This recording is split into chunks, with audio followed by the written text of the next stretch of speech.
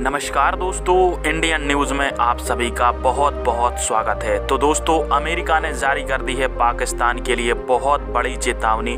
दरअसल, आप सभी जानते होंगे कि तालिबान से प्रेम रखने वाले पाकिस्तान ने अफ़गानिस्तान में अपने आतंकियों को उतार दिया है। और दोस्तों, इसकी खबर अमेरिका को लग गई, जिससे अमेरिका ने अब पाकिस्तान के लिए भीषण चेतावनी जारी कर दी है।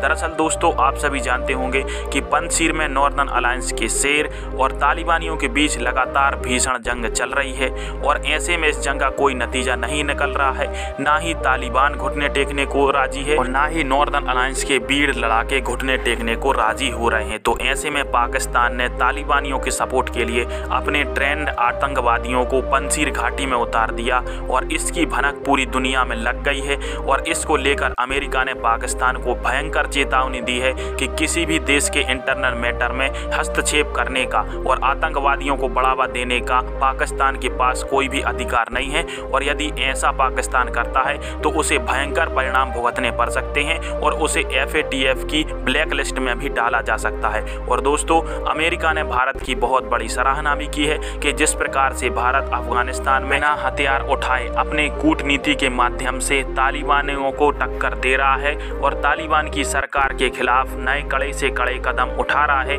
इसकी सराहना अमेरिका ने की है। साथ ही अमेरिका ने पाकिस्तान को दो टूक जवाब दे दिया है यदि पाकिस्तान अपने आतंकवादियों के माध्यम से अफ़गानिस्तान को कठपुतली बनाकर वहाँ पर अपने आतंकवादियों को पाल ले और उनके माध्यम से अफ़गानिस्तान की सत्ता चलाने का प्रयास करता है तो इसके पाकिस्तान को भयंकर नतीजे भुगतने पड़ेंगे और इसके लिए पाकिस्तान सदा तैयार रहे। तो दोस्तों, बहुत बड़ी और अहम खबर है, अब जो पिट्ठू पाकिस्तान है, जो अफ़गानिस्तान में अपना राज करना चाहता था, उस पर लगाम लग जाएगी। बाकी आप किस टॉपिक पर जो भी रहा है कमेंट बॉक्स में कमेंट करें। धन्यवाद।